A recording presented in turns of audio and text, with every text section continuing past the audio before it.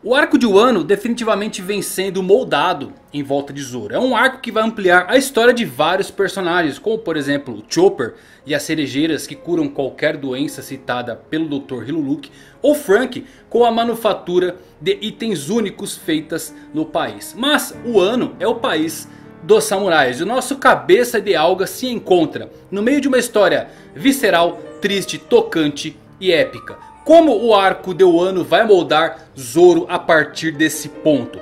Acredito que dentre todos a sua história será ampliada. E ele passará por um importante e necessário desenvolvimento de personagem. E estas duas coisas talvez sejam conectadas através de Kuina. Quer saber esses segredos? Então se liga que eu vou falar nisso agora.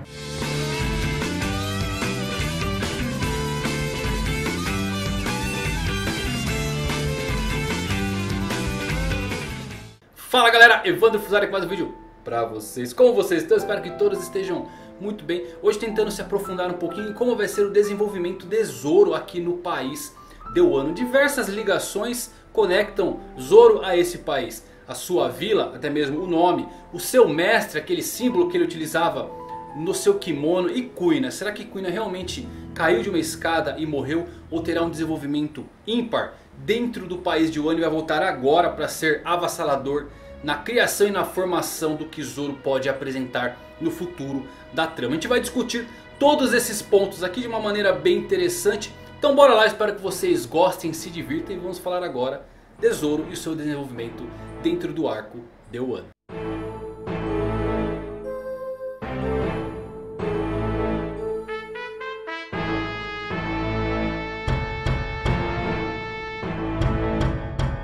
Bom, já temos muitas dicas de que as coisas na história de fundo de Zoro serão mais detalhadas em Wano. Os gritos de Tsunade que Zoro ensinou a Momonosuke foram o primeiro indício a aparecer nas páginas. Uma palavra utilizada no país em tempos remotos e que Zoro aprendeu quando treinava sob tutela de Koshiro, seu antigo mestre. Após isso, temos o vovô Ryo explicando sobre o Ryo Wo, uma forma avançada de Haki de armamento, da mesma forma que Koshiro também explicou a Zoro.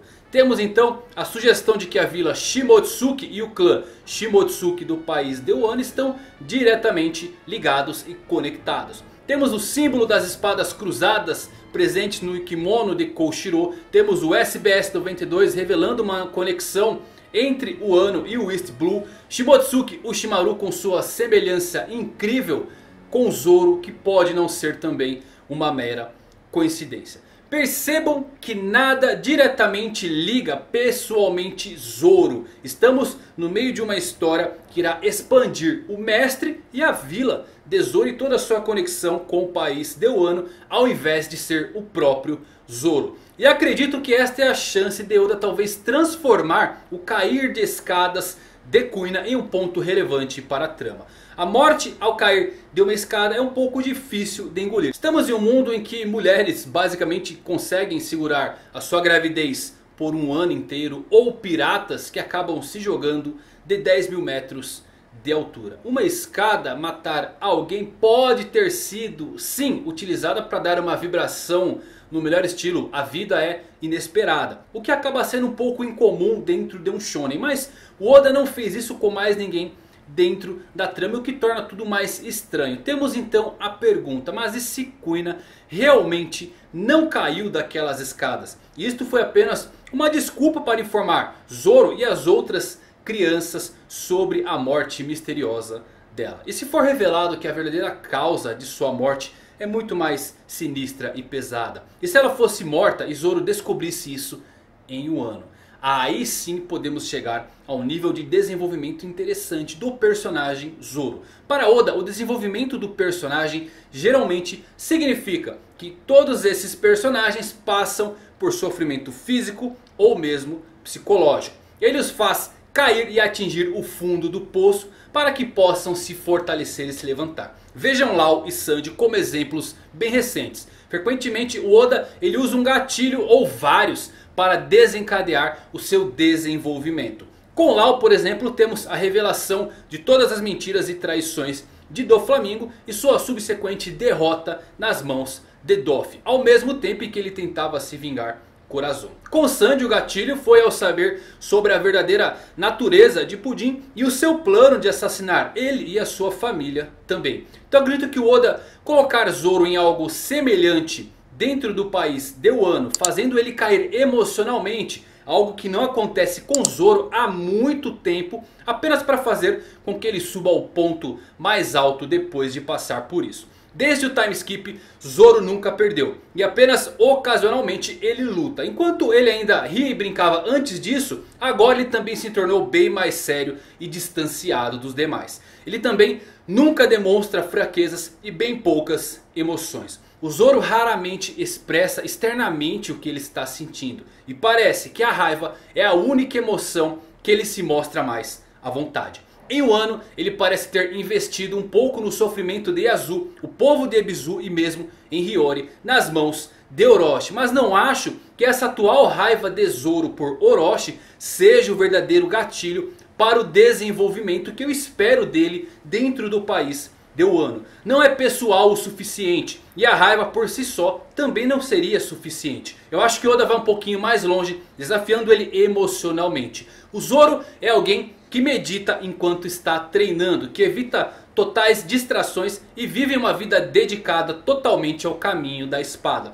Quando ele luta, nunca é por uma questão de motivos pessoais, mas sim testando a sua própria força e valor para alcançar o seu sonho de ser o maior espadachim.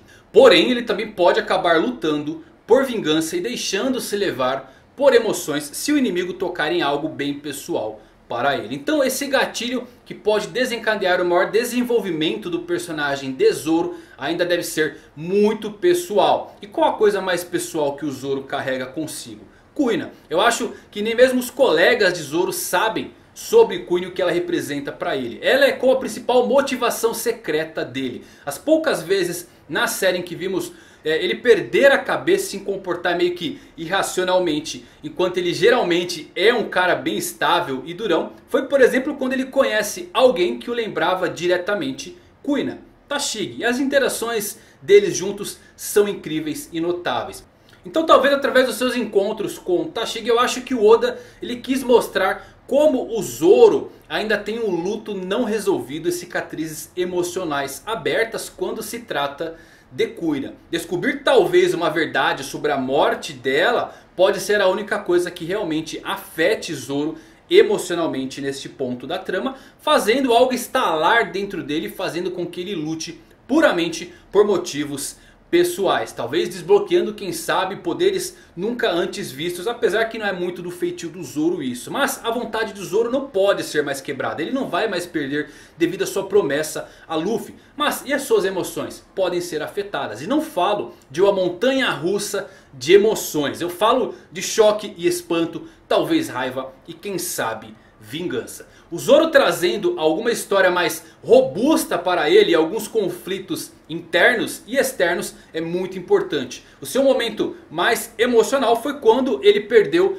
para Mihawk e falhou em cumprir a sua promessa feita à sua amiga Kuina. De ser o mais forte espadachim. Eu acho que esse foi o momento de mais humildade Tesouro mostrando a ele a lacuna entre seu objetivo de cumprir uma promessa e de conseguir fazer isso. Em seguida temos o seu voto após aquela luta que reafirmou a sua convicção de continuar a sua jornada para cumpri-la. Voto esse feito a Luffy. Então a ligação de Kuina e o clã Shimotsuki pode ser uma enorme fonte do seu conflito interno adicionado ao externo de derrotar a tripulação de Kaido. Transformando isso em algo interessante sem ser excessivamente emocional. E eu não acho que isso vai tirar muito dele. Porque ele tem sido um personagem bem estático. Podemos ir talvez para uma outra linha se vocês quiserem também. A de que a morte de Kuina foi significativa e ela tem sentido. Precisamos olhar também para um outro lado da moeda. Em um mundo com todos esses acontecimentos bizarros e personagens poderosos, esquecemos que a maior parte do mundo de One Piece são de pessoas normais, as pessoas que vivem suas vidas cotidianas e ficam admiradas ao lerem nos jornais os superpoderes sobre os quais eles veem todos os dias.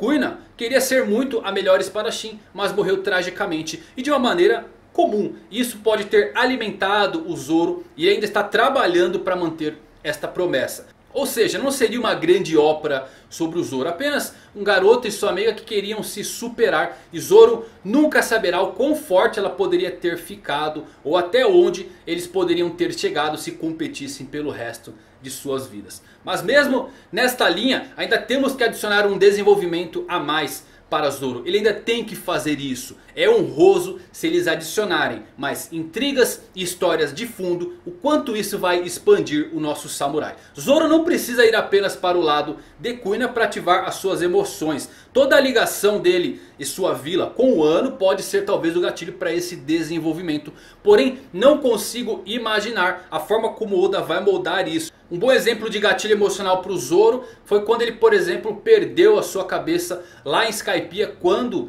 o Enel atingiu com um raio a própria Robin. Naquele momento o Zoro basicamente completamente perdeu as estribeiras, ele ficou com muita raiva. Então provavelmente Kuina não é a única coisa que o faz quebrar, mas eu acho que seria a coisa mais importante. Temos também o Luffy, que é outra pessoa que esteve diretamente envolvida em várias vezes de desenvolvimento do próprio Zoro ou em decisões bem duras. Eu acho interessante que o Zoro ele é o oposto do Luffy. Ele é tudo sobre não fazer barulho. Se lembre de quando ele estava sangrando lá em Thriller Bark. Não havia necessidade de ser choroso naquele ponto. E sim significativo. Então acho que vai haver uma quebra emocional de Zoro em Wano. Mas de uma forma diferente do que já vimos. A morte de Kuina pode se tornar relevante novamente para a trama. Ou quem sabe pode continuar com a mensagem de que a vida é apenas um sopro. Porém creio que a primeira opção seria muito mais interessante e quebraria face durona de Zoro e o faria resolver coisas internas ainda inacabadas. Quem sabe com um túmulo em Wano para sua amiga deixando ali ao Ado e Tibondi para guardar a sua alma. Então acho que esse vai ser o rumo que Oda vai tomar para o Zoro. Eu espero sim que adicione mais profundidade à trama de Kuina. Seria muito interessante se o Oda expandir isso. Tudo bem, pode ser uma coisa corriqueira. Pessoas realmente caem de escadas e morrem.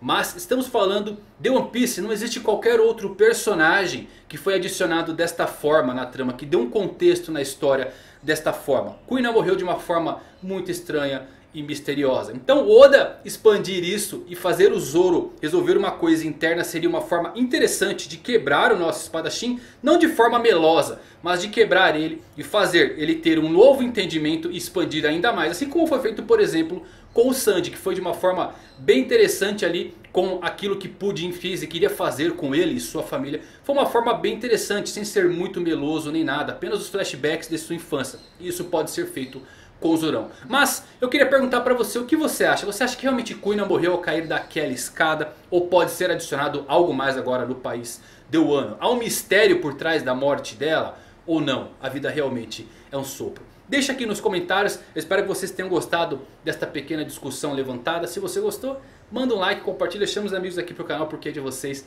Fiquem ligados até os próximos vídeos. Muito obrigado por assistirem. Fui.